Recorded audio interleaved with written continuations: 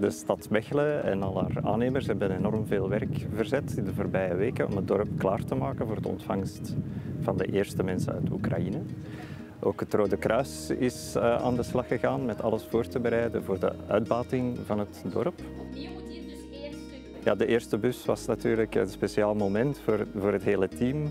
We hebben ons zo goed mogelijk proberen voor te bereiden, maar het blijft natuurlijk altijd een beetje verrassing om te zien uh, hoe het ook echt is om mensen in die omstandigheden te ontvangen. We laten de gezinnen een beetje tijd om op hun effe te komen. Uh, en dan gaan we beginnen met uh, informatie te voorzien van hoe ze zich kunnen settelen hier in Mechelen. Dat is natuurlijk een beetje een duaal gevoel. Hè. Aan de ene kant zijn we enthousiast als team om het hier zo goed mogelijk in orde te maken. Maar aan de andere kant hoop je natuurlijk dat het eigenlijk allemaal niet nodig was. Maar ja, we zijn in deze situatie en we proberen dat zo professioneel mogelijk aan te pakken.